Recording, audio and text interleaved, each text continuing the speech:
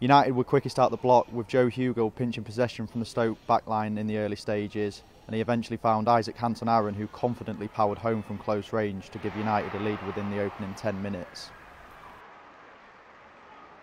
The Reds double their lead in the 23rd minute as more neat and patient build-up play from United saw Mateo Mejia receive the ball on the right and he looked to deliver a ball into the area but his cross deflected off Stoke's left back and looped over the visiting goalkeeper and into the far corner.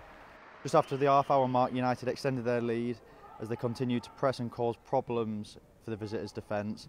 The ball eventually landed at the feet of Ethan Williams inside the area following a ball in from the right and his left footed strike looped over the Stoke goalkeeper again to extend United's lead.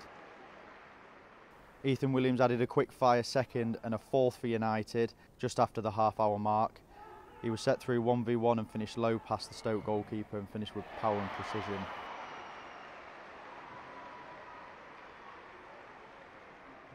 United continued to dominate and added a fifth in the 40th minute. A ball into the area wasn't cleared properly by the visitors, and our number six, Maxi Oyedele, picked up the loose ball from range and powered an unstoppable effort into the far corner, leaving the Stoke goalkeeper with no chance.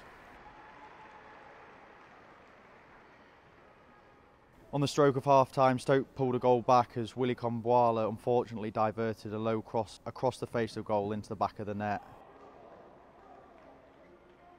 But United soon responded and added a sixth in first half stoppage time as Ethan Williams was played through and then fouled by the Stoke goalkeeper.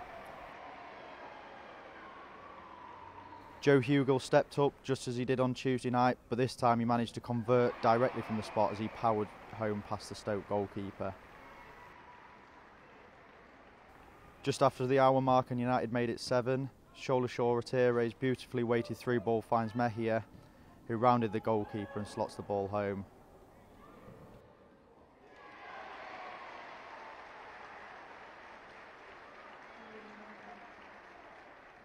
Minutes later, and United made it eight. Mateo Mejia turned provider this time as he gets in behind the Stoke defence to lay up substitute Ethan Wheatley, who had only just come on as a substitute just before, and he had a simple tap in to add an eighth for United. It was soon nine for United. This time, Oyedele with some really neat build-up play on the right flank, and he got past his man, delivered a ball into the area, and Isaac Hanson Aaron was there to unleash an unstoppable left-footed volley past the Stoke goalkeeper, leaving him with no chance. As we approached the final stages of the game, Shola Shoretire was brought down on the edge of the box for a free kick. Sub Sam Mather was keen to pick the ball up and get in on the act as his expertly taken free kick was whipped round the wall and into the back of the net giving United double figures.